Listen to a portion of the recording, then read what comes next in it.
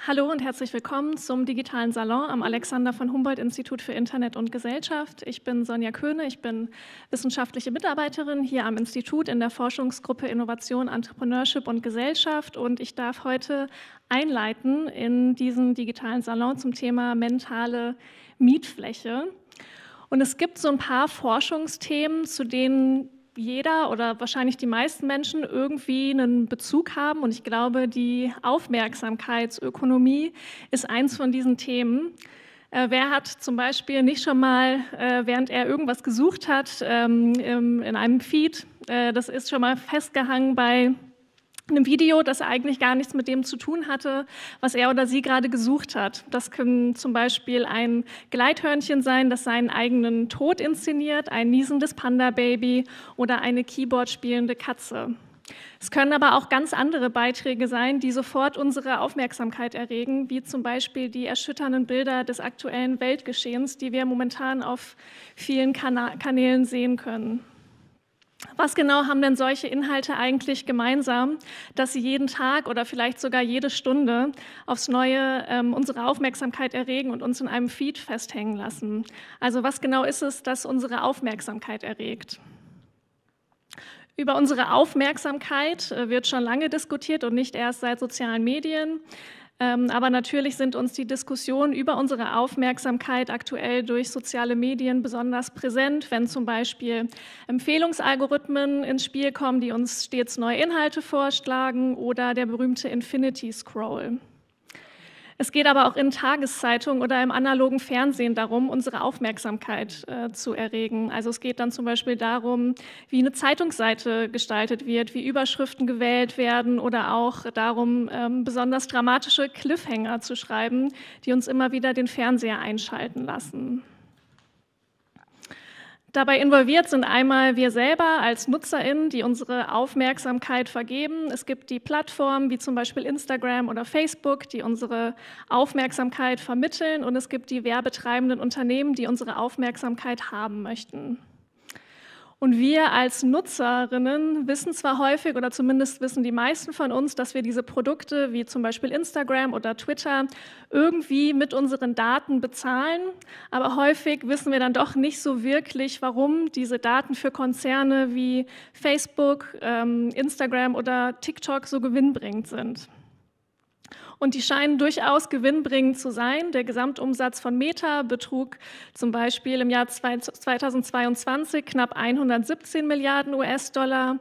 Der Umsatz von TikTok, äh, ByteDance, betrug nach eigenen Angaben über 80 Milliarden US-Dollar.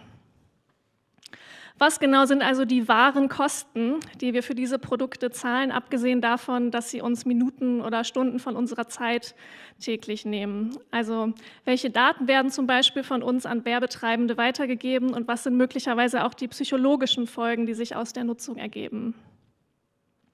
Denn wenn Werbetreibenden meine Aufmerksamkeit scheinbar als ein sehr knappes und wertvolles Gut betrachten, dann sollte ich vielleicht selbst meine Aufmerksamkeit auch so sehen und dann auch so entsprechend so behandeln. Aber wie kann ich mich denn selbst eigentlich davor schützen, dass meine Aufmerksamkeit irgendwo hingeht, wo sie eigentlich gar nicht hingehen soll? Und ab wo muss dann vielleicht auch der Gesetzgeber einschreiten, um mich vor Manipulation zu schützen? Es gibt also sehr viele spannende Fragen rund um das Thema mentale Mietfläche und daher freue ich mich jetzt auf die Diskussion mit Nancy Fischer und unseren Gästen. Vielen, vielen Dank an Sonja für die einführenden Worte und genau damit legen wir los. Herzlich willkommen nochmal heute Abend hier im Humboldt-Institut für Internet und Gesellschaft. Freue mich sehr, dass so viele von euch den Weg hierher gefunden haben. Freue mich auch sehr, dass viele oder hoffentlich viele jetzt gerade bei Alex TV ganz bewusst bestimmt eingeschaltet haben oder ganz bewusst auf YouTube den Stream angeklickt haben, um diesen, diese kommenden 60 Minuten ungefähr hier zu verfolgen. Denn ich glaube, wir drei wissen mittlerweile sehr gut durch die Vorbereitung auf den Abend heute, dass das was ziemlich Besonderes ist, dass wir jetzt gerade eure Aufmerksamkeit haben und hoffentlich auch noch die nächsten 60 Minuten äh, haben werden oder 55 ungefähr noch. Ähm, das ist überhaupt nicht selbstverständlich. Die Aufmerksamkeitsspanne von uns Menschen ist in den letzten Jahrzehnten immer kürzer geworden ähm, und deshalb auch wahnsinnig wertvoll mittlerweile, denn gerade in der digitalen Welt, das wissen wir sehr gut, ist Aufmerksamkeit im Prinzip auch Geld und die größten Firmen, wir haben eben schon ein paar Unternehmen gehört, Facebook, Microsoft, Google, machen damit wahnsinnig viel Geld wir haben ein paar Zahlen vorbereitet in diese Richtung, da können wir gespannt drauf sein, ähm, indem sie eben unsere menschliche Aufmerksamkeit ganz gezielt an sich binden zu Werbezwecken. Und deshalb wollen wir sprechen über diese sogenannte Ökonomie der Aufmerksamkeit, die Aufmerksamkeitsökonomie, diese mentale Mietfläche und damit nochmal ganz ja, herzlich willkommen euch allen, die sich den Weg hierher gefunden haben und natürlich auch den beiden Gästen, die ich euch kurz vorstellen möchte. Ähm, Sven Ohl sitzt zum einen bei uns, forscht an der Humboldt-Universität zu Berlin zum Thema Aufmerksamkeit und Wahrnehmung, und zwar am Institut für Psychologie. Und Sven, dir geht es vor allem um so die Verbindung zwischen Handlung und Wahrnehmung in deiner Forschung. Also wie zum Beispiel Augenbewegungen und begleitende Aufmerksamkeitsverschiebungen das, was wir sehen und woran wir uns erinnern, beeinflussen können. Das werden wir uns gleich genauer erklären lassen. Studiert hat Sven ähm, Psychologie, ist jetzt natürlich auch Psychologe und auch tätig als solcher in der Lehre aktuell. Ähm, und ich habe mich so gefragt, Sven, wenn du eigentlich ja total gut diese ganzen Mechanismen kennst, wie Aufmerksamkeit funktioniert, wie hoch ist denn so deine Aufmerksamkeitsspanne im Alltag? Du trickst dich bestimmt nicht selber aus, oder? Äh, das ist eine gute Frage. ähm, die Aufmerksamkeitsspanne ist tatsächlich auch ein, ein schwieriges Konzept, ähm, weil jede Aufgabe hat so ihre eigene Aufmerksamkeitsspanne. Und deswegen ist es auch gar nicht so leicht zu sagen, dass tatsächlich die Aufmerksamkeitsspanne bei allen schlechter geworden ist in den letzten Jahren. Äh, was man aber sagen kann, ist, dass die Inhalte heutzutage sehr viel schneller präsentiert werden. Ja? Und deswegen müssen wir im Prinzip sehr viel mehr Informationen, wenn man gerade in den digitalen Raum geht, wenn man sich sowas wie TikTok oder all diese Videos anschaut, die kommen in einer unglaublich hohen Geschwindigkeit. Und damit man damit eben äh, zurechtkommt, muss man eben halt lernen, seine Aufmerksamkeit adaptiv anpassen, äh, dass man auch in dieser kurzen Zeit diese ganzen Inhalte verarbeiten kann. Ja? Das heißt eher, es zeigt, wie flexibel unsere Aufmerksamkeit ist und dass jetzt Generationen, die eben diese äh, sozialen Medien etc. mehr nutzen, einfach besser werden ähm, darin, diese, äh, ihre Aufmerksamkeit auf diese kurze Zeit anzupassen. Ja? Und das kann natürlich mit Kosten kommen, dass sie in so klassischen Aufgaben schlechter werden, ähm, wie dass sie, äh, wo man eben langanhaltende Aufmerksamkeit braucht. Aber es ist jetzt auch nicht so, als, als würde man beobachten, dass äh, die junge Generation total viele Verkehrsunfälle hätte. Ja? Ähm, es ist eine Aufmerksamkeits- eine Aufgabe mit viel Aufmerksamkeit, langanhaltender Aufmerksamkeit. Das ist nicht wirklich der Fall. Aber, Wobei ähm, du gerade gesagt hast, dass bei dir in deinem Wohnort, wo du wohnst, die genau. Jugendlichen mit dem Fahrrad fahren und dabei auf dem Handy sind, aber genau. gleichzeitig genau. die Hände nicht am Lenker haben. Genau, da kommen wir später dran, äh, noch zu einem Punkt. Ne? Es gibt genau. natürlich Kosten von Aufmerksamkeit äh, oder wenn man die irgendwo drauf verlegt. Da können wir später noch drauf zurückkommen. Dann. Und Ottmar Lell möchte ich auch noch vorstellen, also danke erstmal dafür. Ähm, Ottmar, Experte für Verbraucherpolitik und Verbraucherrecht bei Con Policy, einem äh, Forschungs- und Beratungsunternehmen in diesem Feld. Ähm, da beschäftigst du dich unter anderem mit den verbraucherrechtlichen Aspekten von Digitalisierung, eigentlich genau, also unser Thema, was uns alle als Nutzer von vielen dieser Plattformen wahrscheinlich interessiert. Davor warst du viele Jahre beim ähm, Verbraucherzentrale Bundesverband in Berlin, auch fürs Bund Bundesumweltministerium und das Umweltbundesamt wiederum tätig. Ähm, bist selber Jurist und hast auch promoviert im Verbraucherrecht. Also herzlich willkommen auch nochmal euch beiden. Ähm, ich habe gestern dein Instagram-Profil gefunden, glaube ich, Ottmar. Und da war nicht so viel los. Du hast null Sachen gepostet und null Freunde. Ich glaube, du bist so in Sachen Aufmerksamkeitsökonomie nicht so attraktiv, oder? Für die Firmen, wenn ich mir das so angeschaut habe. Tatsächlich habe ich mir den Instagram-Account mal angelegt, um so ein bisschen zu gucken, was ist da eigentlich los, äh, tatsächlich in Vorbereitung für heute. Ich Ach, hatte wirklich? den vorher noch gar nicht. ähm, nee, ähm, ich habe ihn auch nicht vermisst bisher, aber ich wollte da eben mal nachsehen, wie, ähm, wir hatten es jetzt auch in der Einführung schon, die schrecklichen Bilder, die gerade um die Welt gehen, mhm. ähm, wollte ich mir mal einen direkten Eindruck machen, weil ich das tatsächlich ansonsten für mich selber nicht so verfolge, aber es war eben so, wie man es auch ähm, überall kolportiert äh, bekommt, dass es einfach total krass ist, total aufhetzend, äh, total einseitig, polarisierend und so. Ja, genau so ist es. Darüber werden wir sprechen. Und zwar jetzt in den kommenden Minuten. Ähm, freue mich deshalb auch auf eure Fragen aus dem Publikum. Also die sind total willkommen und wir freuen uns darüber. Gegen Ende haben wir auf jeden Fall noch mal einen größeren Zeitblock dafür eingeräumt. Aber wenn euch zwischendrin was unter den Nägeln brennt, einfach Hand heben und dann kriegen wir das bestimmt unter. Wir wollen mal anfangen, so ein bisschen grundsätzlich, damit wir dieses große Wort der Aufmerksamkeit einmal verstehen. Sven, vielleicht kannst du uns als Experte genau dafür mal sagen, was ist eigentlich Aufmerksamkeit, so ganz banal? Ah, ja, sehr gern. Ah, und das ist auch gar nicht banal. Es gibt einen guten Aspekt, weil es gibt auch eine alte Definition davon, die sagt, eigentlich weiß jeder, was Aufmerksamkeit ist. Ja? Und das ist schon äh, 150 Jahre alt, dieser, dieser Satz. Äh, aber ähm, die Psychologie hat sich sehr viel mit dem Begriff Aufmerksamkeit beschäftigt und hat gemerkt, eigentlich ist es mehr ein Sammelbegriff. Ja? Ähm, es ist nicht eine Sache, diese Aufmerksamkeit. Und wenn wir genauer drauf schauen wollen, was ist es denn eigentlich, müssen wir auch unterscheiden und klassifizieren ein bisschen, dass es unterschiedliche Typen von Aufmerksamkeit gibt. Und so der klassischste Begriff, der damit assoziiert ist, ist selektive Aufmerksamkeit und da ist im Prinzip auch schon die Funktion in dem Wort drin, Selektion. Und das heißt ähm, Auswahl. Und man muss sich vorstellen, selbst in so einem einfachen Setting wie hier sind wirklich unendlich viele Informationen verfügbar, die wir visuell verarbeiten können. Und wir haben in unserer geistigen Verarbeitung gibt es sowas wie Flaschenhals. Wir können nicht alles gebrauchen und äh, auch nutzen. Das sind so einfache Dinge wie, wenn wir was greifen wollen, müssen wir uns ja auch für irgendetwas entscheiden, was wir greifen. Ja? Da gibt es nur ein Handlungsziel also gibt es auch so einen Flaschenhals. Und es gibt andere Flaschenhälse wie ein Kurzzeitgedächtnis. Wir können uns nur eine Handvoll Sachen merken. Ja? Und irgendjemand muss ja entscheiden, was kommt da rein in dieses Gedächtnis, was merken wir uns. Und das ist im Endeffekt das Gedächtnis, oder ist die, ist die Aufmerksamkeit. Und dann ist natürlich die Frage, ähm, wie lenken wir eigentlich unsere Aufmerksamkeit? Und das können wir ganz einfach tun durch Augenbewegungen.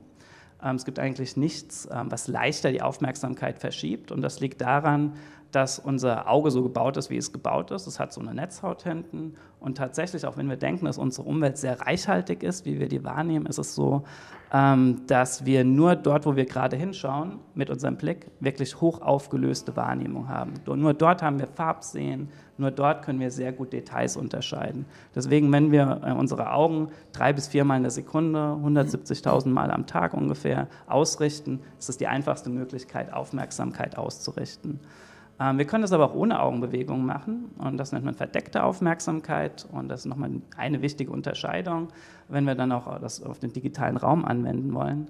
Ähm, ist die Unterscheidung zwischen endogener und exogener Aufmerksamkeit und das kennen wir alle. Exogen meint, da flasht irgendwas, da blitzt irgendwo was auf, da ist irgendwas, was ganz anders aussieht ähm, und das zieht automatisch unsere Aufmerksamkeit an.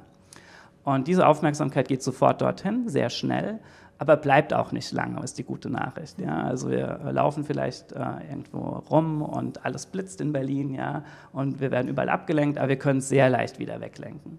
Und dann gibt es noch die endogene Aufmerksamkeit und das ist die, die wir wirklich willentlich ausrichten. Ja? Wir haben einen Plan, wir möchten etwas machen, wir suchen etwas und dementsprechend können wir auch willentlich unsere Aufmerksamkeit ausrichten. Wir sind also nicht nur Opfer äh, dessen, äh, was da in unserer Umgebung ist, sondern können die auch selbst ausrichten. Und das ist schon ein wichtiger Aspekt auch, wenn man das auf so soziale Medien anwenden will. Und ich möchte eine Analogie mitgeben, mit der man sich, oder eine Metapher, mit der man sich das gut merken kann. Das ist wie wenn man in den Supermarkt geht, ja, und das ist auch ein total gut durchdesignter Ort für Aufmerksamkeit. Ja? Wer im Supermarkt arbeitet und den plant, ist sozusagen ein Aufmerksamkeitsarchitekt, könnte man sagen, oder Architektin. Und ähm, dort gibt es allerhand, was automatisch unsere Aufmerksamkeit hinlenkt. Ja? Es könnte ein rotes Preisschild sein, weil wir das assoziieren schon mit das vergünstigt. Das zieht das Aufmerksam, die Aufmerksamkeit dort sofort hin. Aber wir haben natürlich auch einen, Auf äh, einen Einkaufszettel mit dabei. Ja? Also wir wissen eigentlich, was wir dort kaufen wollen. Und an dem können wir unsere, ähm, unsere endogene Aufmerksamkeit willentlich ähm, auch im Supermarkt ausrichten. Und genau, so haben wir schon noch eine erste Unterscheidung, welche verschiedene Arten es von Aufmerksamkeit gibt und welche eigentlich von den sozialen Medien besonders ähm, äh, angesprochen wird. Hm, die Exogene, auf die wollen wir sozusagen so ein Exakt, bisschen mit der genau. Zeit jetzt rüberwandern. Ähm, frage mich aber noch, gibt es denn grundsätzlich, kann man denn grundsätzlich sagen, es gibt bestimmte Dinge, die ähm, ganz besonders unsere Aufmerksamkeit erregen oder bestimmte mhm. Ereignisse? Ja, auf jeden Fall kann man das sagen. Also äh, es gibt dann den Begriff der Salienz, ähm, also ein Objekt, was ähm, im Gegensatz zu seiner Umwelt absticht, ähm, anders ist, wird Aufmerksamkeit aufmerksam, äh, sofort auf sich ziehen, automatisch auf sich ziehen. Das kann man sich vorstellen, man, es gibt eine große Demonstration, alle sind in schwarz gekleidet und mittendrin ist eine Person mit einem roten T-Shirt. Ja. Wir werden alle diese Person mit dem roten T-Shirt sofort sehen, weil dieser Stimulus so heraussteht. Ja. Und das können Sie auf ganz viele Dimensionen anwenden, dieses Allianz. Kann auch vielleicht, so was Semantisches sein, denke ich, oder irgendwie was Sprachliches oder Bedeutungsinhaltlich ist es ganz was anderes. Ähm, und natürlich auch Dinge, die hochkontrastig sind. Gesichter sind sehr beliebte Stimuli, die automatisch auch die auf, äh, sehr stark äh, Augenbewegungen auf sich ziehen, weil die natürlich auch eine sozial sehr interessante Informationen liefern kann, ja, auch Emotionen liefern kann. Deswegen sind Gesichter und saliente Stimuli Dinge, die die Aufmerksamkeit sehr gerne hat. Aber auch Dinge, die, die sich schnell bewegen, ähm, die aufblitzen, ähm, so etwas mag die Aufmerksamkeit. Ottmar Nick, denkst du direkt vielleicht an irgendwas in den sozialen Medien oder generell in, in der digitalen Welt sozusagen, ja, wie das bestätigt siehst? Genau, genau. Also ich äh, würde gern ähm, die Metapher mit dem Supermarkt äh, nochmal aufgreifen und ähm, so mal eine, einen Vergleich ziehen, äh, was ist eigentlich die digitale Welt verglichen mit so einem Supermarkt? Also die digitale Welt, ähm, der, der wir so tagtäglich begegnen und jetzt mal auch ähm, quer über alle ähm, Dinge, denen wir da begegnen. Ich würde sagen, in gewisser Weise ist es auch ein Supermarkt, äh, weil eben ganz viel von dem, äh, was wir dort machen, eigentlich dazu dient, dass wir irgendwas kaufen.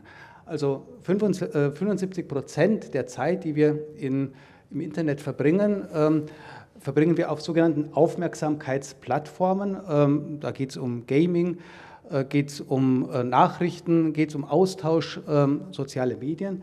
Ähm, und ein Großteil dieser Aktivitäten ist werbefinanziert. Das heißt, eigentlich sollen wir was kaufen.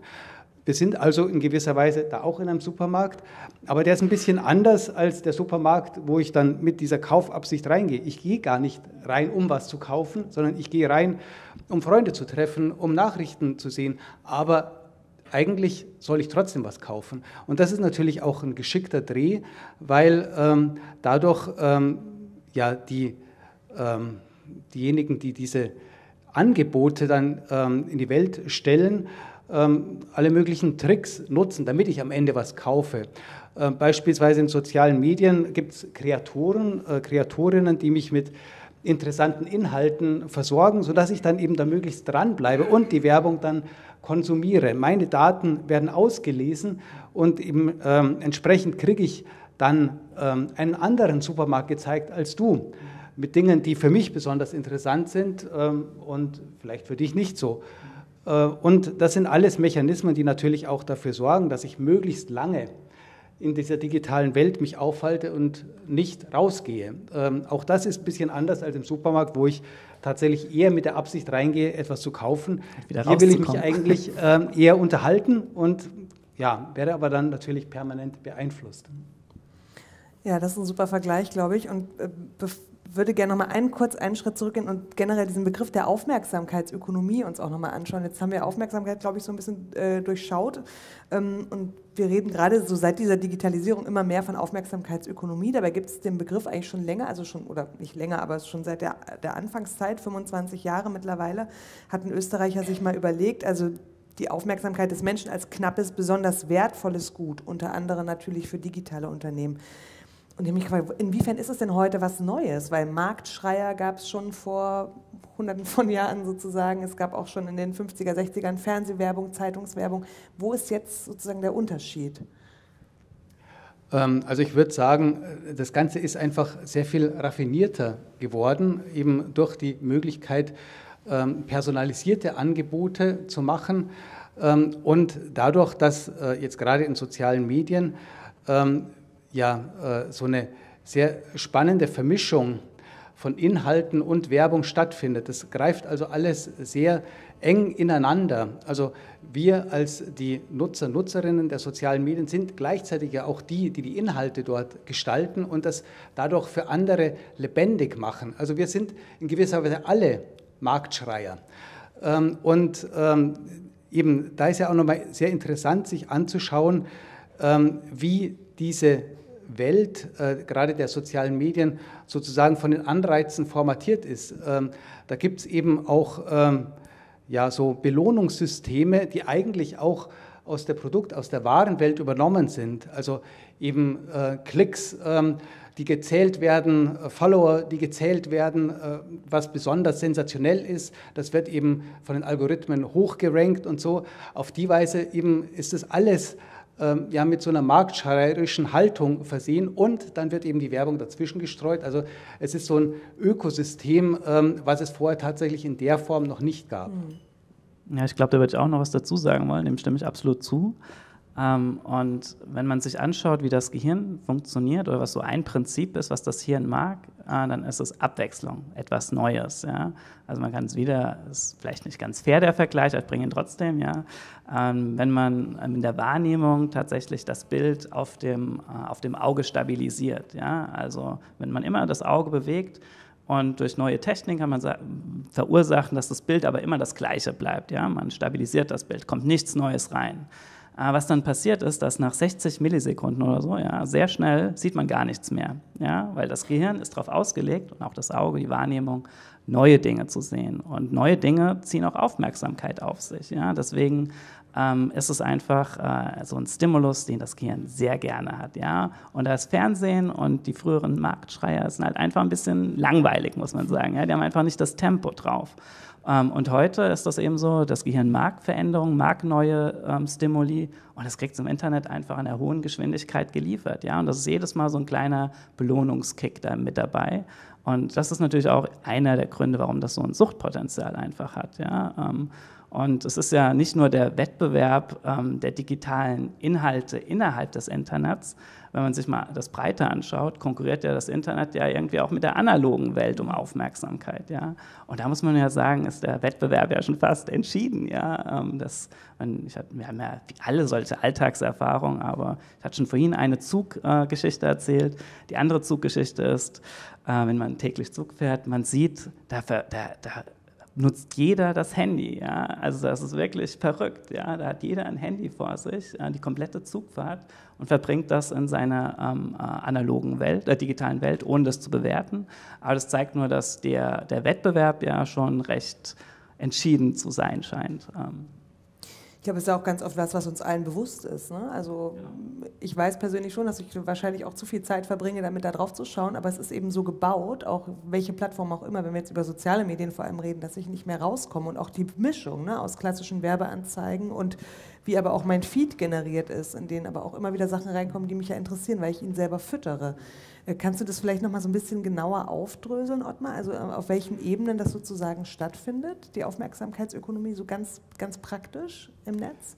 Ähm, meinst du jetzt, ähm, also in sozialen Medien, wir haben schon über Likes gesprochen, die das, mit, also die das sozusagen mitfüttern, was ich mag und wie ich das auch selber unterstütze. Was machen die Unternehmen, was kommt von außen dazu?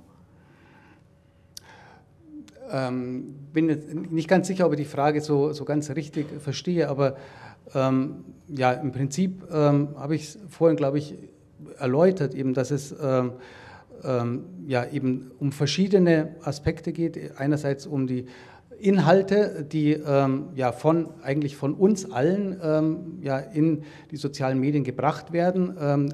Und andererseits geht es darum, eben genau damit Werbung zu verkaufen.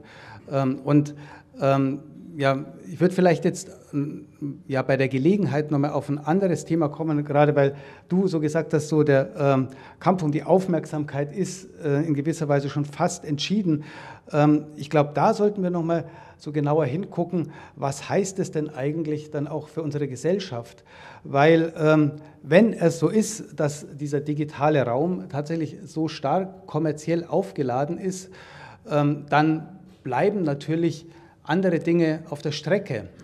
Ähm, und das kann für die Gesellschaft äh, nicht, nicht wirklich günstig sein. Eben wir hatten das Thema der Polarisierung, ähm, Fake News, Hate Speech und so hatten wir schon.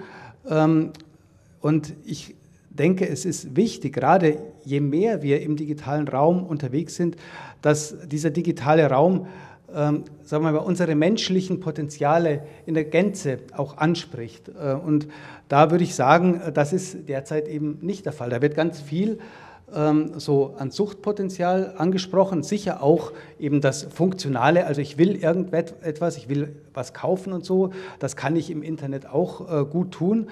Ähm, aber wir sind als Menschen ja ähm, durchaus auch breiter angelegt. Äh, wir sind in der Lage, empathisch zu sein. Wir sind in der Lage, kreativ zu sein. Wir sind auch in der Lage, ähm, gemeinschaftlich Lösungen zu suchen, gesellschaftliche Lösungen. Und das sind alles Dinge, für die bietet die digitale Welt derzeit nicht viel Möglichkeiten. Natürlich gibt es da auch was. Es gibt ähm, sowas wie ähm, ja, ähm, Liquid Democracy, also es gibt solche Ansätze, die aber ganz, ganz klein sind und äh, bei dem, was so in den Massenmärkten stattfindet, eigentlich keine große Rolle spielen. Weil die gar nicht darauf ausgelegt sind. Genau, weil eben äh, die Geschäftsmodelle, die dominieren, ähm, einfach komplett andere sind ähm, und die einfach ähm, ja, nach ja, den Kriterien der kommerziellen Welt funktionieren und uns als Menschen praktisch auch einsortieren in so ein kommerzielles äh, Muster. Bevor wir so drüber nachdenken, was ist denn an Alternativen, was wir uns vielleicht mal für Alternativen überlegen könnten oder welche es vielleicht auch schon im ganz Kleinen gibt, würde mich noch interessieren. Aber jetzt sind wir nun mal alle auf diesen Plattformen, die uns ja irgendwie auch alle catchen und, und beeinflussen. Gibt es denn rein aus der Psychologie nochmal einen Weg, wie kommen wir denn davon vielleicht erstmal weg oder sollen wir das überhaupt? Vielleicht tut es uns ja auch ein Stück weit gut. Ja, genau. Das ist eine total legitime Frage. Ähm, und ich meine, ich kann da auch nur äh, aus einer bestimmten Perspektive drauf schauen. Aber wenn wir das wieder zurückbringen darauf, welche Arten von Aufmerksamkeit es gibt, dann wird natürlich diese, diese exogene Aufmerksamkeit, die, die leicht auf sich gezogen werden kann durch bestimmte Inhalte, ähm, wird dadurch angesprochen. Ja? Und das ist, ähm, ich kann da jetzt auch nur spekulieren, äh, aber das ist ja diese Aufmerksamkeit, wo ich gesagt habe, die Aufmerksamkeit, die leicht weggezogen wird, aber man könnte sie auch wieder, wenn man denn wollte, wieder auf was anderes lenken. Ja? Aber anscheinend ist es auch eine sehr entspannende Sache, einfach so durch das Internet äh, zu scrollen ja? und seine Aufmerksamkeit mal hier, mal dahin shiften zu lassen und sich im Prinzip unterhalten zu lassen, ohne selbst jetzt zu schauen, nach was, welche Inhalten will ich denn aktiv suchen. Ja? Also meine, meine Perspektive drauf ist tatsächlich, dass das einfach ein großer Entspannungseffekt ist, was wahrscheinlich Fernsehen für andere Leute früher auch hatte. Mhm.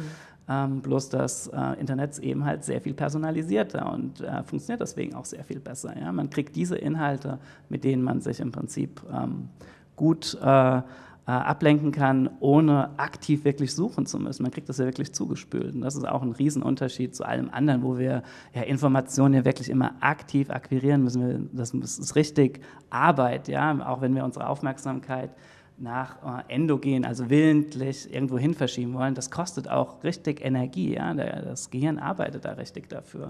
Und es ist natürlich viel einfacher, sich ständig irgendwo hinziehen zu lassen. Und das ist, äh, denke ich, ist einer dieser Schlüssel, warum wir da so gerne sind auch. Vor allem, weil es ja so auf mich zugeschnitten ist. Also auch der, ähm, der Bias, helf mir mhm. kurz, wie heißt er? Der, der Confirmation. Dankeschön, der Confirmation Bias, wo es letztlich ja genau darum geht, dass ich immer das sehe, was ich sehen möchte und das mich auch nochmal bestätigt, ähm, weil eben auch die Unternehmen und die Plattformen mich so gut kennen. Inwiefern hat das denn aber auch Auswirkungen, dass jeder von uns sozusagen da nicht die Fernsehwerbung sieht, die alle sehen, sondern eben nur seinen, seinen, seinen eigenen Rahmen nur noch wahrnimmt, Auswirkungen auf, auf unsere Gesellschaft, auch ein Stück weit auf, auf Gespräche, auf Debattenkultur, die wir führen.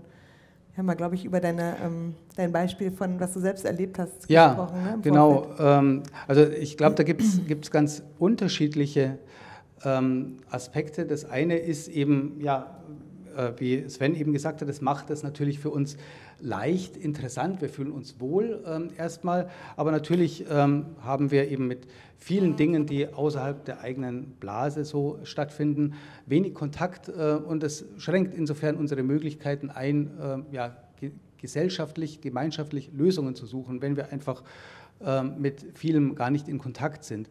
Genau, und ähm, was ich in unserem Vorbereitungsgespräch mal erzählt habe, ähm, gerade irgendwie vor einer guten Woche war ich mal ähm, bei einer Beteiligungsveranstaltung hier, ich wohne in Weißensee und da gibt es gerade so ein Beteiligungsangebot, ähm, wie dieser Park und der übernutzte See in Zukunft gestaltet werden sollen. Ähm, und dem vorgeschaltet war ein Online-Beteiligungsverfahren und in diesem Online-Beteiligungsverfahren sind sehr ähm, gegensätzliche, kontroverse äh, Vorschläge gekommen, so von den See komplett abriegeln, äh, niemand mehr reinlassen, bis zu Badeverbot aufheben. Und dann ging auch das schon los, was man in so Kommentarspalten von Zeitungen sieht. Äh, ein Vorschlag wird niedergemacht und so. Ähm, das war jetzt noch gar nicht soziale Medien, das war einfach nur äh, die Tatsache, dass Leute alleine zu Hause an ihrem Rechner sitzen und irgendwas eintippen und keine Personen vor sich sehen. Dann äh, war eben dieses äh, Beteiligungsformat, wo dann irgendwie 15 Leute in einem Raum saßen und dann mit unterschiedlichen Meinungen umgehen mussten. Ähm, und da war die Diskussionskultur von vornherein eine ganz andere, sehr viel lösungsorientierter, sehr viel empathischer, aufeinander zugehend und ja, konstruktiv. Ähm, also das ist ein ganz großer Unterschied und wie gesagt, da muss man noch gar nicht an soziale Medien denken. Mhm. Das ist einfach die Vereinfachung und äh, Reduzierung des Digitalen, wie es im Moment ist, das muss nicht so bleiben. Also es gibt ja dann auch Ideen, ähm, dass im Metaverse wir uns auch in der digitalen Welt so komplett begegnen können, wie wir das in der realen Welt, in der analogen Welt tun. Ähm, vielleicht wird das passieren, aber sicher auch nur dann, wenn die Anreizsysteme in, im Metaverse eben nicht rein nach kommerziellen Kriterien funktionieren. Siehst du irgendeine Chance, dass die Anreizsysteme andere werden oder dass es von irgendeiner anderen Stelle her sozusagen in diese Richtung shiftet? Weil ich sehe sie im Moment nicht, weil dafür die Unternehmen, die wir ja schon jetzt alle genannt haben, alle kennen, viel zu viel Geld damit machen, wie es jetzt gerade funktioniert. Ne? Das ist richtig. Und ähm, also ich würde mal sagen, äh, es ist schon eine Diskussion im Gange, die wir jetzt hier ja auch führen und die nicht nur hier geführt wird. Ähm, es gab ja jetzt auch äh, auf EU-Ebene mit den großen Gesetzesvorhaben ähm, des Digital Markets Act, des Digital Services Act, auch Bewegung in die Richtung, dass man äh, mehr gesellschaftliche Verantwortung einfordert von Digitalunternehmen. Ähm, und das wird sicher noch lange, lange dauern. Aber ich denke, es greift immerhin die Erkenntnis um sich, dass digitale Unternehmen, und das sind gerade die großen Plattformen, dass die einfach unser Miteinander, unser gesellschaftliches Miteinander gestalten und dass damit eine Verantwortung verbunden ist. Also ich finde, es ist so ähnlich wie Infrastrukturen, die wir eben auch aus der analogen Welt kennen, ähm, Gesundheitssystem, Energiesystem, Wasserversorgung, das sind Dinge, die einfach eine Basis für das Funktionieren der Gesellschaft sind. Und sowas sind inzwischen die großen digitalen Plattformen auch. Damit ist eine Verantwortung verbunden und die muss aber natürlich erstmal formuliert sein. Was heißt die eigentlich? Mhm. Und, ähm, und die muss auch permanent weiterentwickelt werden. Wenn wir immer darüber reden, wie, wie groß die sind, ich meine, die Google, Alphabet, Microsoft, Facebook, äh, die vier schon allein unter den Top Ten weltweit. Vielleicht können wir uns nochmal die Zahlen so ein bisschen genauer angucken, weil ich glaube, es ist auch spannend, wenn man das selber mal weiß, was ist man da eigentlich wert. Ne? Also wenn wir über Aufmerksamkeitsökonomie sprechen, was bin ich denn als Instagram-Userin mit meinem Profil wert oder ne, auf, auf, welcher, auf welcher sozusagen Skala, von welcher Skala reden wir da? Ja, genau. Ich habe äh, da ein paar Sachen, ein paar Zahlen rausgesucht und lese die mal lieber ab, weil äh, auswendig weiß ich die nicht alle. Ähm, also äh, bei Facebook ähm, ist wohl der weltweite Durchschnitt an Einnahmen pro Nutzer äh, und Jahr 40 äh, Dollar ähm, pro Jahr. Ähm, das geht dann eben bei den anderen Plattformen doch deutlich nach unten. Äh, Twitter ist hier noch 25 äh, Dollar, Instagram 22 Dollar, LinkedIn 14 Dollar, WhatsApp ähm, sind nur noch 4 Dollar. Ähm, weil da eben auch keine Werbung direkt geschaltet wird, mhm. sondern werden nur Kontaktdaten ausgelesen und eben an äh, Facebook oder Meta weitergegeben. Dabei sind die Unterschiede auch zwischen den Ländern ganz enorm. Also in den USA ähm, verdient Facebook äh, pro Nutzer, äh, Nutzerin 200 Dollar äh, im Jahr. Ähm, in Europa noch 60 Dollar pro, pro Jahr ähm, und in anderen Ländern geht es dann deutlich nach unten, äh, also so Asien noch 20 Dollar und der Rest der Welt 11 Dollar. Ähm, genau, das sind so, so ein paar Daten, was Facebook damit verdient. Und man muss sagen, eben du hast es schon gesagt, es sind ähm, die mächtigsten Unternehmen der Welt entstanden auf diese Weise. Das ist vielleicht auch nochmal ähm, doch sehr äh, ja, bezeichnend dafür, wie viel diese Daten wert sind, wenn ähm, die Unternehmen äh, damit sich unter die Top 10 äh, der erfolgreichsten und mächtigsten Unternehmen der Welt hervorgearbeitet haben. Und deshalb eigentlich nur durch Werbung, weil wir nutzen es ja alle gratis im Prinzip. Ja. Ne? Ich habe in dem Kontext nochmal gelesen, dass auch Netzaktivisten fordern, dass wir, also im Prinzip wir alle eigentlich auch fordern sollten, dass wir bezahlt werden sollen von diesen Unternehmen, weil wir ja im Prinzip die Daten erst generieren, mit denen die reich werden. Was hältst du davon als Verbraucher? Schützer sozusagen? Naja, das ist eine Möglichkeit, die äh, tatsächlich auch schon lange diskutiert wird. Ähm, ich bin da ehrlich gesagt nicht so sicher, ob das äh, die beste Idee ist. Die beste Idee wäre eigentlich, ähm, dass ähm, wir, wie wir es eben aus der analogen Welt auch kennen, für Produkte, für Leistungen bezahlen und dass wir nicht äh, eben unsere persönlichen Daten vermarkten und verkaufen. Das, wenn das ein bis zu einem gewissen Grad passiert, ist es wahrscheinlich nicht schlimm, aber wenn, wenn es äh, so in so großem Ausmaß passiert wie derzeit, äh, ist es schwierig und dann ist es sicher ein bisschen besser, äh, wenn, wenn wir das Geld selber kriegen.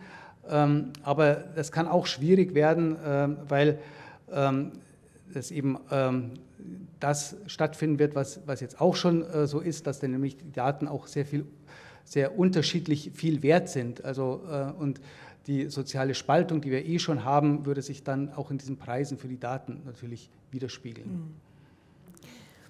Wenn wir ähm, jetzt sozusagen so ein bisschen bei der Idee der Lösungsansätze sind, also dass wir Geld von Facebook oder von Instagram kriegen, ist, ich glaube, wahrscheinlich auch einfach sehr unwahrscheinlich, aber unabhängig davon, wie, ähm, wie können wir uns denn selber noch mal ein Stück weit auch einschränken? Also ich denke da immer sofort, ich habe irgendwie diese App-Block und umgehe das aber selber die ganze Zeit. Ich habe einen analogen Wecker und habe das Handy trotzdem neben dem Bett liegen. Also das sind ja immer so Sachen, wo wir erstmal an uns denken. Ist, ist das der richtige Weg, dass ich erstmal anfangen muss, ähm, was zu ändern an meinem Verhalten, wie umgehen damit, äh, um sozusagen nicht auf den, auf den Leim zu gehen, diese Aufmerksamkeitsökonomie? Oder ist das eh chancenlos? ich kann einfach mal nur sagen, auf individueller Ebene. Ne? Es sind natürlich verschiedenste Ebenen, wie man das angehen kann. Es kann mhm. natürlich auch durch Regulation sein. Ja? Ähm, äh, keine Ahnung, wenn man jetzt äh, auch wieder bei Nahrungsmitteln ist, ja, dann steht jetzt mittlerweile auf den Packungen, wie gesund die sind. Da sind jetzt, ist ein Kennzeichen drauf, ja, und das kann schon mal Leute informieren.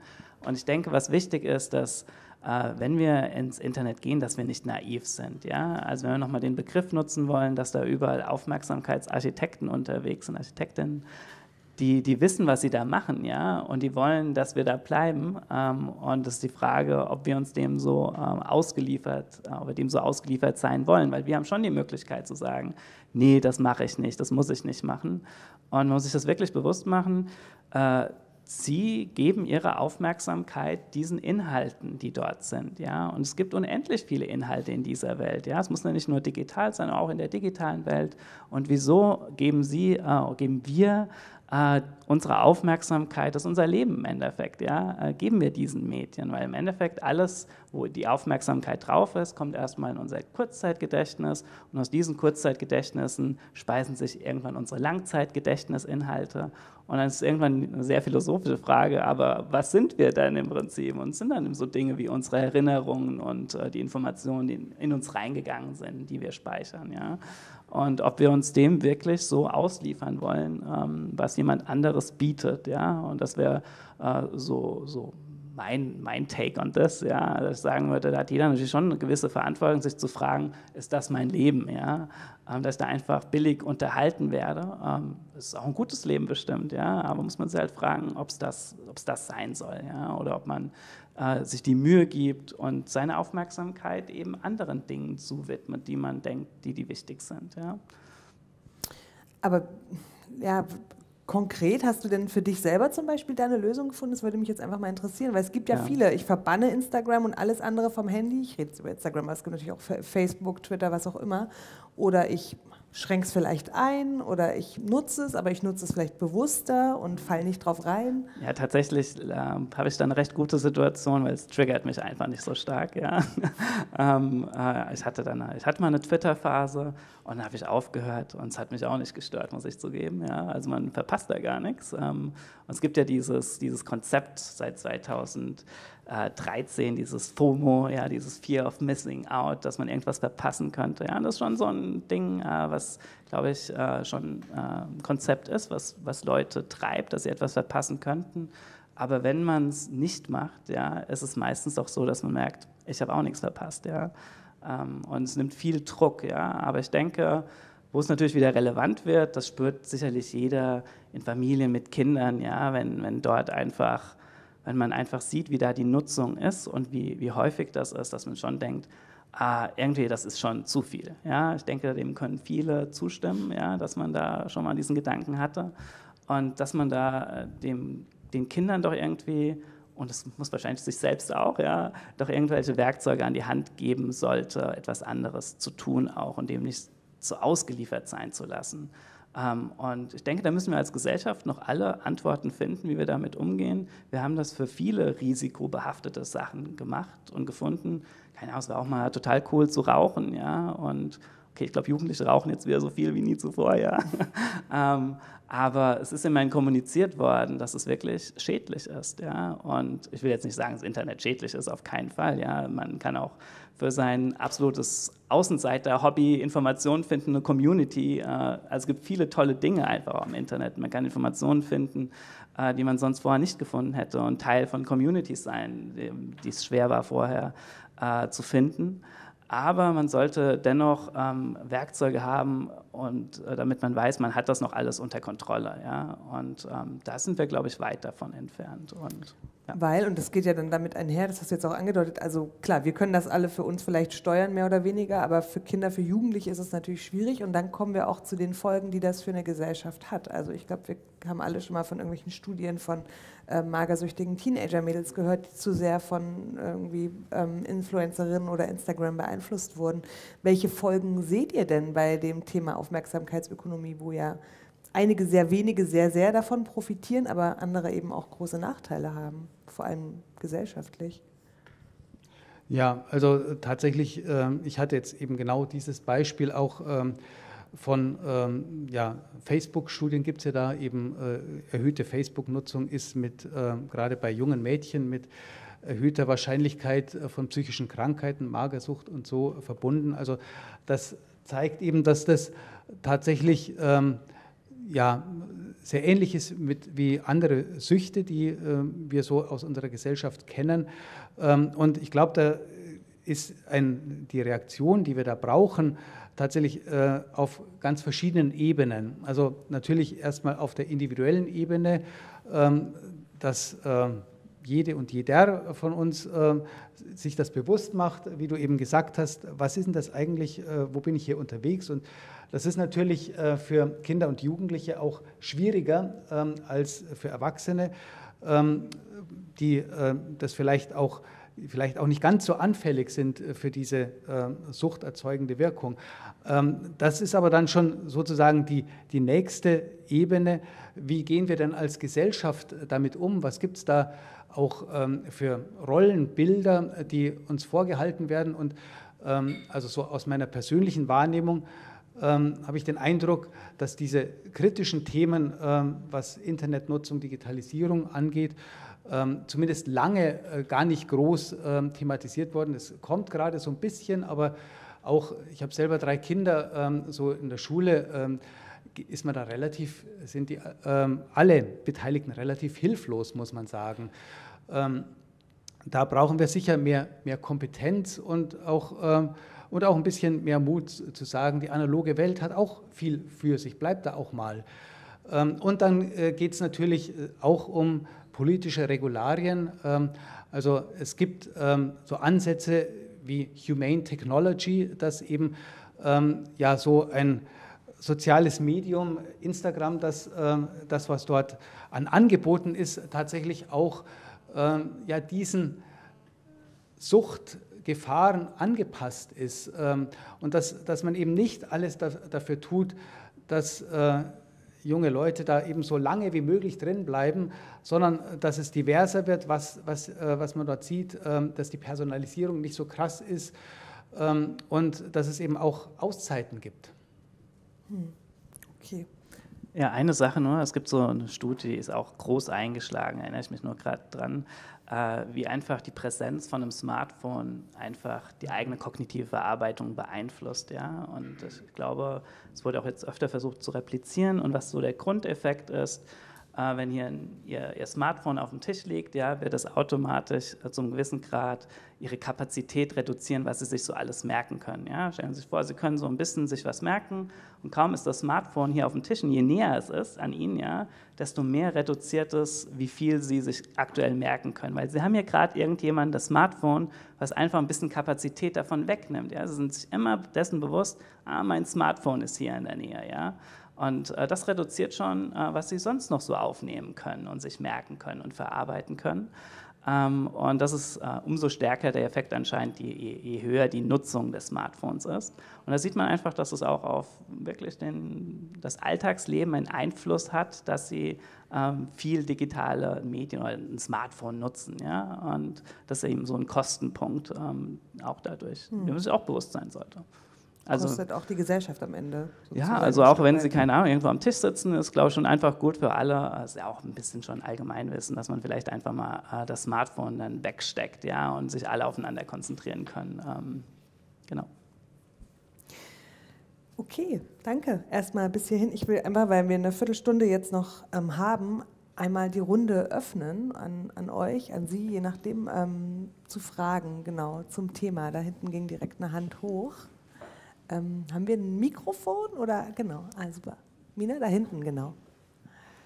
Sie haben sich auf jeden Fall den besten Platz ergattert hier. Das stimmt, das ist auf jeden Fall der bequemste Platz hier. Ähm, wir sind ja hier beim Humboldt-Institut für Internet und Gesellschaft und mich interessieren insbesondere die gesellschaftlichen Effekte des Ganzen. Also psychologisch gibt es sicher einige Effekte, da wurde einiges von genannt. Ähm, Gesellschaftlich diskutieren wir viel über Echokammern, Filterblasen, ähm, über die Möglichkeit auch bewusst über Social Media Manipulation auszuspielen. Das heißt zu wissen, für welche Information ist welcher Mensch wann wie empfänglich und das ganz konkret auszunutzen, um beispielsweise, wir haben es gesehen, Cambridge Analytica, Trump-Wahl, Brexit etc., um beispielsweise Menschen bewusst auch weiter zu radikalisieren. Diese Gefahren sind ja groß. Wir sehen das ja, ähm, Demokratien ähm, sind in vielen Ländern in Gefahr, auf dem absteigenden Ast. Das hat mit Sicherheit damit zu tun, dass sich Menschen radikalisieren und diese Radikalisierung kommt ja auch nicht von ungefähr, die kommt ja zum Teil eben auch genau daher, dass im Internet ähm, solche Inhalte ähm, ausgespielt werden und ähm, eine Radikalisierung auch äh, bewusst vorangetrieben wird. Jetzt haben wir eben gehört, ähm, es gibt sowas wie einen Digital Services Act, der versucht, auch an genau diese Aspekte ranzugehen, zum Beispiel indem man mehr Privacy by Default hat, und ein bisschen mehr Datenschutz ähm, einzieht ähm, in diese Plattformen. Ähm, mich würde interessieren in Richtung des Panels, geht das ähm, Ihrer, eurer Meinung nach weit genug? Und was wären Ansätze, die vielleicht weitergehen und die Demokratie noch mehr schützen können? Also beispielsweise das Tracking über soziale Plattformen noch stärker einzuschränken. Das ist Frage 1. Und Frage 2 ist, was sind die Alternativen, die wir gegebenenfalls aufbauen müssen, um ähm, Möglichkeiten zu schaffen, in denen Menschen sich auch wieder bewusst, ähm, das heißt auch endogener, wie ich vorhin gelernt habe, ähm, mehr zu informieren und weniger exogen ähm, bespielt zu werden. Ähm, könnte das sowas sein wie beispielsweise ähm, ein öffentlich-rechtliches Angebot oder ähnliches? Danke. Wer mag? Ja, ähm, genau. Die erste Frage war eben so, reicht das aus, was wir mit Digital Services Act, äh, Digital Markets Act sehen? Ähm, nein, es ist ein erster Schritt, es ist ein wichtiger Schritt, ähm, aber ähm, es müssen weitere folgen. Ähm, ich würde sagen, das geht immerhin in äh, eine bestimmte Richtung, ähm, ja, die man aber durchaus noch fortdenken kann und sollte. Also was zum Beispiel ähm, im Digital Services Act ganz wichtig ist, ähm, das ist, dass Plattformen jetzt verpflichtet sind, die Risiken ihres eigenen äh, Geschäftsmodells zu verfolgen und zu beschreiben. Allerdings ähm, muss das noch nicht nach einer bestimmten Methodik äh, passieren. Die Methodik muss nicht offengelegt werden. Äh, da ist viel noch im Grauen. Ähm, und die Reaktionen sind eigentlich auch den Plattformen überlassen. Also der nächste Schritt ist eigentlich dann aber schon vorgezeichnet. Ähm, also das muss natürlich alles viel transparenter passieren, muss unter Beteiligung auch der Zivilgesellschaft passieren, dass man diese Auswirkungen beschreibt. Und es muss auch ähm, eine Reaktion der Plattform passieren, ähm, die dann eben wieder gesellschaftlich diskutiert wird im Sinne dieser Infrastrukturverantwortung, was ich vorher beschrieben habe. Das ist, ich würde mal sagen, eigentlich vorgezeichnet, dass das der nächste Schritt ist und den sollten wir gehen. Und dann, ähm, was das Thema personalisierte Werbung angeht, ja, ähm, ich frage mich schon, ist es so wichtig, dass wir personalisierte Werbung, Tracking haben? Ähm, ist es äh, etwas, was uns gesellschaftlich einen Nutzen bringt? Ich würde sagen, nein. Warum sollen wir es dann haben? Also ähm, es gab ja, ist Ihnen bekannt, äh, eben auch den Versuch, im Rahmen des Digital Services Act ähm, personalisierte Werbung zu verbieten, eben über diese No Tracking Coalition des Europäischen Parlaments. Hat nicht geklappt, aber das heißt nicht, dass es nicht im nächsten Schritt klappen wird. Und dann war noch die Frage, was brauchen wir stattdessen? Ähm, also ich glaube, man sollte sich der Sache von zwei Seiten nähern. Äh, zum einen die großen Plattformen mehr verpflichten, aber dann auch von der anderen Seite tatsächlich gemeinwohlorientierte Angebote aufbauen und die sollten staatlich finanziert sein. Das Beispiel öffentlich-rechtlicher Rundfunk finde ich treffend, aber sie müssen natürlich gleichzeitig äh, staatsunabhängig sein. Das ist wieder sehr wichtig äh, und sicher auch nicht ganz einfach. Ja, genau, aber nicht ganz einfach. Wir sehen die Debatten, die es da ja gibt, auch. Ja. Und wenn wir ähm, nochmal, Entschuldigung, ich möchte nicht nochmal so laut husten, in Richtung der Alternativen nochmal nachdenken, wie sähe denn eine aus für dich, wo du sagst, die ist, also jetzt den öffentlich-rechtlichen gibt es das schon, aber vielleicht auch in Richtung der sozialen Medien, was ja auch sozusagen dein Spezifikum so ein bisschen ist, Ottmar, Kannst du dir so ein soziales Medium vorstellen, wo das super funktioniert? Wir haben auch mal gesprochen über den Begriff des Value-Based Engineering, also für das Gemeinwohl wirklich gemacht, in der Traumwelt jetzt? Also ich glaube, das ist etwas, was genau wie die sozialen Medien äh, Schritt für Schritt entstehen müsste. Ähm, also das kann man nicht äh, irgendwie so äh, mit einem Fingerschnippen sagen, so sieht es aus, sondern ähm, ich glaube, das ist etwas, wenn ähm, sagen wir mal, die Anreize so sind, dass äh, sich eben ähm, ja, soziales, ähm, kreatives Verhalten, dass das sich dort entfalten kann, dann wird da auch was Spannendes entstehen. Aber ähm, ja, da bräuchten wir erstmal ein Angebot, wo, wo, eben genau das auch belohnt wird. Also wo, wo dann die Anreizstrukturen so sind, dass das ähm, ja auch funktioniert. Mhm. Okay, danke erstmal. Gibt es noch mehr Fragen? Einmal hier vorne.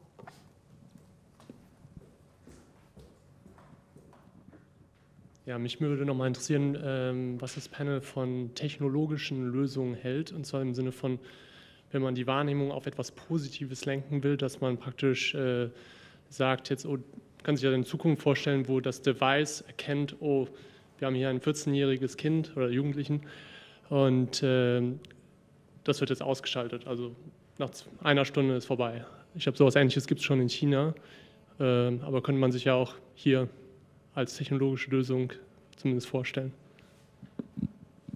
Ja, habe ich noch nicht gehört. Finde ich tatsächlich sehr interessant. Äh, würde ich mir auch auf jeden Fall mal anschauen. Ähm, das sind empirische Fragen im Endeffekt. Ne? Ähm, das, das, sind Sachen, die kann man implementieren und die kann man messen. Und man kann dann schauen, was dann Effekte äh, sein werden.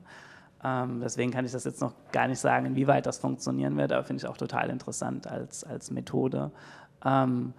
Äh, was ich nur noch irgendwie jetzt auf, auf Ottmars äh, äh, Ausschweifung hier sagen wollte, ist, ich weiß noch wirklich, als so Internet angefangen hat und ähm, die Frage war, wie verdienen diese Unternehmen eigentlich Geld? Ja, kann ich mich noch sehr gut daran erinnern. Ähm, und dass die mal mit unseren Daten Geld verdienen werden. Es war uns auch irgendwie allen klar, oder mir war das auch klar persönlich, aber man konnte es sich nicht wirklich vorstellen, wie das eines Tages dann doch sein würde. Ne? Man konnte sich schon vorstellen, klar, die werden das irgendwie schon mit, mit Werbung irgendwo ähm, ihr Einkommen generieren, aber dass man dann auf einmal so hochpersonalisierte äh, Profile von sich hat, dass, dass Wahlwerbung zuge, ähm, äh, einem zugeflossen wird oder zugespeist wird oder dass alle Bilder, die wir so machen und im Internet kursieren, dass die genutzt werden, um künstliche Intelligenzen zu füttern, die im Prinzip äh, werbetreibende Menschen ersetzen können und dort computergenerierte Menschen erzeugen. Ja? Das hätten wir damals alle nie für möglich gehalten und in welch kurzer Zeit doch all diese persönlichen Daten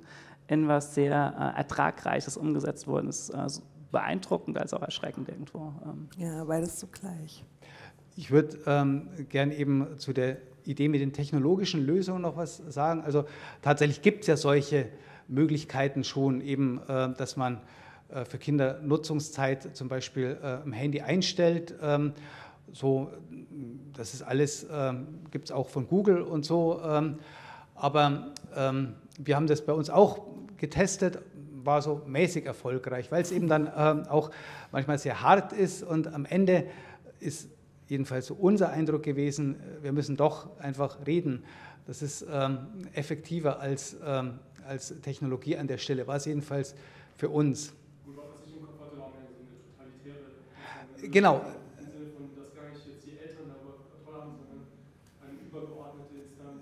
Richtig, genau. Sowas, sowas kann, kann eher funktionieren, genau. Ja. Und äh, ich habe noch einen Gedanken eben äh, nochmal zu der Frage, ähm, wie könnte denn ein ähm, ja, besseres soziales äh, Medium aussehen? Also ich kann mir vorstellen, dass äh, wir da auch ähm, aus der Spielewelt noch was lernen können, weil da tatsächlich Kooperation auch stattfindet. Äh, interessanterweise ist die Spielewelt ja auch deutlich weniger werbefinanziert. Ähm, also die meisten Spiele kauft man sich, ähm, weil die dann einfach auch besser sind. Ähm, und da gibt es tatsächlich auch mehr an Kooperation, als wir das sonst in sozialen Medien sehen. Allerdings natürlich in einer Fantasiewelt, die nützt uns jetzt nicht so viel, um reale mhm. gesellschaftliche Probleme zu lösen. Das ist ein guter Punkt, ja. Und auch interessant, dass weniger Werbung dort ähm, sichtbar ist. Genau. Gibt es noch Fragen ansonsten? Wir haben noch fünf Minuten. Ähm, Fragen ans Panel zum Thema. Ähm, ist vielleicht weniger eine Frage als eine Studie, die mir selber eingefallen ist, die ich kürzlich las. Da ging es um ähm, Reue. Eine Reue wurde versucht zu studieren über so eine, so eine Skala. Man konnte einfach sagen, ähm, auf einer Skala von 1 bis 10, wie, inwiefern bereust du, das war eine Studie mit Teenagern, ich glaube von 14 bis 16 ungefähr, die Nutzung ähm, von bestimmten Apps, sozialen Apps, also Instagram, TikTok und so weiter. Und die Tragödie bestand letztendlich darin, dass viele Angaben ihre Zeit letztendlich zu bereuen, die sie da verbracht haben, ähm, auf ihren, weiß ich nicht, auf ihrem Instagram-Profil. Und dann eben wieder dieses Stichwort Doomscrolling. Und dann ist mir in den Kopf gekommen, wir haben uns eingangs über endogene Aufmerksamkeit unterhalten. Inwiefern kann man dann da auf Selbstregulierung zählen, wenn da doch Sucht anscheinend eine Rolle zu spielen scheint? Ich soll den letzten Satz, wenn, wenn was eine Rolle spielt, wenn Sucht? Also wenn, wenn es äh, sozusagen, ja, also wie ich von dieser Studie darauf komme, ist, wenn ich sehe, jemand bereut etwas und macht es trotzdem, dann scheint ja irgendwie was nicht kontrollierbar zu sein. Genau. Und muss man dann die Selbstregulierung stärken? Ja, wie macht man das? Und genau, große das Frage. Sind, äh, die magischen das wir einfach Fragen. alle wissen heute Abend. Damit ja. wollen wir rausgehen. Wir kriegen es in den Griff. Äh, dann, dann hätte die Psychologie wahrscheinlich ihr Ziel erreicht, ja, wie wir das schaffen können. Äh, aber wir wissen alle, äh, dass, äh, dass so diese täglichen Dinge, die man tut, ja, diese Routinen, dass die einfach unglaublich stark sind, wenn die erstmal etabliert sind. Ja. Und äh, man weiß genauso, wenn die erstmal nicht da sind, wir wissen alle, es ist total gut, Sport täglich zu machen, ja. Aber die erstmal zu etablieren ist hart. Aber wenn sie erstmal da sind, ist es auch hart, die wieder aufzubrechen. Ja. Deswegen, wenn das erstmal wirklich so ein Suchtverhalten ist und eine sehr etablierte Routine, dann ist es natürlich unglaublich schwer, das einfach so wieder aufzubrechen. Das braucht einfach noch mehr Top-Down-Kontrolle, sagt man dann. Dann muss man sich das wirklich sehr bewusst machen. Man muss sich selbst wahrscheinlich belohnen mit ich, ich nutze es anders, ich nutze es weniger und muss sich da so einen Belohnungsplan im Endeffekt aufsetzen und das wieder sich abtrainieren. Ja. Ähm, aber das ist natürlich sehr schwierig. Äh, also kann ich Ihnen keine positive Nachricht mit nach Hause geben. Aber wir arbeiten einfach. Also Sie schaffen dran. das, wir schauen das alle. Genau. Okay, ich glaube, wir kommen zum Ende, denn ähm, unsere Übertragung endet auch gleich. Und eine Stunde haben wir äh, über dieses Thema gesprochen, mit immer noch wahrscheinlich jedem persönlich da vielen eigenen Erfahrungen und Fragen. Aber ich hoffe, wir haben ein bisschen Licht ins Dunkel gebracht, was das große Thema der Aufmerksamkeitsökonomie der mentalen Mietfläche angeht. Auch mal ein paar Zahlen dazu zu hören, ähm, fand ich ganz spannend. Wir haben äh, heute gesprochen, zum einen mit Sven Ohl, Psychologe, HU Berlin, Experte für das Thema Aufmerksamkeit und ähm, zum anderen Das finde ich dein Nachnamen nicht, Ottmar, weil ich immer nur Ottmar sage. Ottmar Lenn. Ottmar Lenn, Entschuldigung bitte, Dankeschön. Von Con Policy, ähm, Beratungsinstitut speziell, das sich mit Verbraucherpolitik beschäftigt zum Thema. Also vielen, vielen Dank für eure Zeit und euer Wissen heute. Das war der digitale Salon. Ich glaube, wir sind fertig. Vielen Dank fürs Kommen und für eure Aufmerksamkeit. Heute umso mehr.